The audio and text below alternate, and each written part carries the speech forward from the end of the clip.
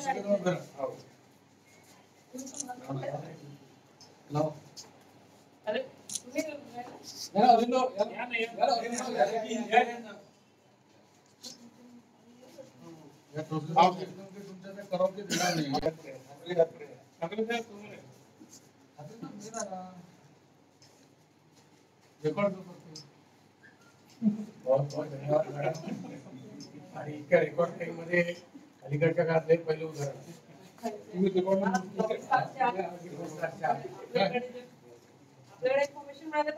तास. हो चोवीस तास. आणि महत्वाचं आहे की आपल्याकडे बाहेर तिने मोबाईल ऑफ केलेला होता. आपल्याला तिच्या लोकेशन अजिबात समजत नव्हतं. कुठे आहे.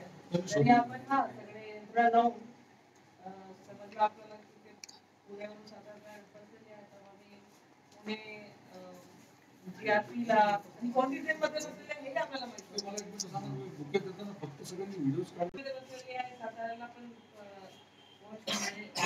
म्हणजे केव्हा पोहोचत साताऱ्याला तरी सातारा पोलीस आणि पुणे जीआरपी यांनी आमची खूप मदत केली. आणि म्हणून सुखरूप मुलीला आपण सातारा म्हणजे साताऱ्याला सातारा एस पी आणि पुणे एस पी रेल्वे त्याला मी स्वतः फोन केले. आणि आमच्या अधिकाऱ्यांनी त्यांना डिटेल्स फोटो पाठवला मुलीचा मग सगळे वर्णन पाठवलं. आणि मग सातारा पीच्या आम्हाला एक एका तासापूर्वी फोन आला एक दीड तासापूर्वी की त्यांनी त्या मुलीला अं, घेतलेलं आहे. आणि सध्या ती स्टेटमेंट देत आहे. सध्या स्टेटमेंट स्टेटमेंट तिचं चालू आहे. आणि ती बोलत आहे की आम्ही स्वतःहून आले आणि इथे आहोत. आणि आता आमची टीम निघालेली आहे रस्त्यातच आहे आणि उद्यापर्यंत तिला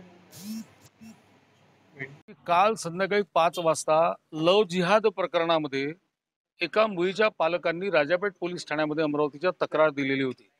गेल्या आठ दिवसामध्ये पाच प्रकरण अमरावतीस उघडकीस आलेल्या लव जिहादचे आणि त्याच्यामुळे संपूर्ण अमरावती चिंतित आहे काही अर्थाने संतप्त आहे आणि व्यथित देखील आहे.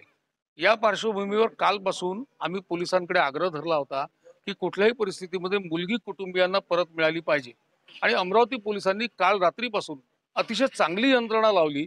काल रात्री उशिरापर्यंत अमरावतीच्या पोलीस आयुक्त डॉक्टर आरती सिंग या स्वतः राजापेठ पोलीस ठाण्यामध्ये येऊन बसल्या होत्या.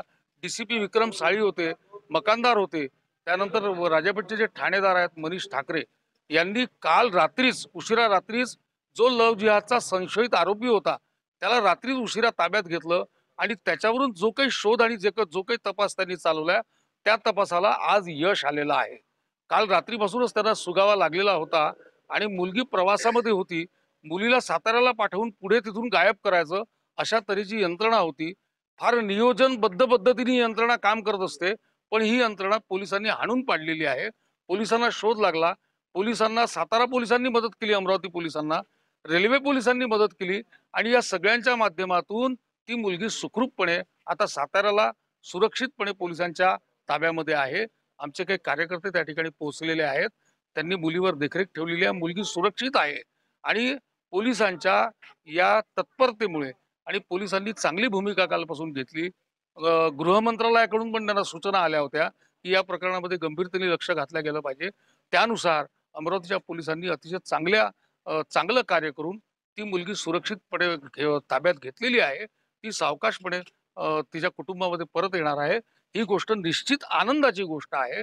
आतापर्यंत अत्यंत निगेटिव्ह निकाल आमच्या हातामध्ये आले. तोंडावर कागद फेकण्यात येतात. काही मिनिटांमध्ये कागद बनवली जातात आणि ती कागद फेकल्या जातात अशी योजना काम करत असते. तर त्या पार्श्वभूमीवर ही मुलगी वापस येणं ही आनंदाची बाब आहे म्हणून अमरावती पोलिसांचं आम्ही मनपूर्वक अभिनंदन करतो. काल रात्री आमच्याकडे एक तक्रार आली. मुलीचे भाऊ पोलीस स्टेशन आले आणि त्यांनी सांगितलं की त्यांची बहीण मिसिंग झालेली आहे.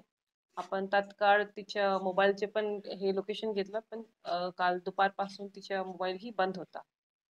मात्र पोलीस स्टेशनमध्ये निरोप मिळाल्यावर लगेच आमचे पोलीस स्टेशन इन्चार्ज आणि स- आम्ही सर्व वरिष्ठ अधिकारी हे सगळे ती मुलीच्या शोधमध्ये होतं. आणि रात्री रात्रीच जेव्हा आपल्याला जे काही क्लूज मिळाला आणि एका मुलाचे नाव समोर आला तर त्या मुलाला आम्ही पोलीस स्टेशनमध्ये रात्रीच आणलं. त्याला विचारपूस केला. पण काही माहिती मिळून आली नाही. तिचे जे मैत्रीण आहे ते त्यांचे पण विचारपूस झाला. आणि हे सगळे आपण काल रात्रीपासून करत आहोत. म्हणजे असा की आपण निवांत होता असं अजिबात नाही. तर सगळी विचारपूस चालू चालू होती. पण कुठलीही उपयोगी माहिती मिळून आली नाही. मात्र आता दुपारी काही क्लूज आपल्याला मिळाले. तिच्या मोबाईल तरी स्विच ऑफही होता पण काही क्लूज आपल्याला मिळाले. आणि तेव्हा आपल्याला समजला की ती ट्रेनमध्ये प्रवास करत आहे. तर आपण पुणे एस पी रेल्वेज तसेच एस पी सातारा त्यांच्याशी आम्ही संपर्क सा- साधले. मी स्वतः त्यांच्याशी बोलले आणि त्यांना आम्हाला ट्रेन नंबर पण माहीत नव्हता. एवढीच माहिती होती की ती ट्रेनमध्ये प्रवास करत आहे आणि पुढे सताराच्या दिश- दिशेने जात आहे. पण अ, त्या दोघे युनिट्सच्या आणि त्यांचे अधिकाऱ्यांच्या आम्हाला खूप अ, सहकार्य मिळालं. आणि एक एका तासापूर्वी मला सातारा एस पी साहेबांचा फोन आला आणि त्यांनी सांगितलं की त्या मुलीला अ, आम्ही सुखरूप ताब्यात अ, म्हणजे आमच्याकडे घेतलेले आहोत. आणि परत पाठवण्याची व्यवस्था करत आहोत. आमची टीम सुद्धा निघालेली आहे आणि रस्ता थोडा मोठा आहे. उद्यापर्यंत ती मुली आपल्याकडे येईल. मोबाईल जेव्हापर्यंत ती ताब त्यांच्याकडे त्यांनी घेतला आहे मुलीचे मोबाईल बंद आहे.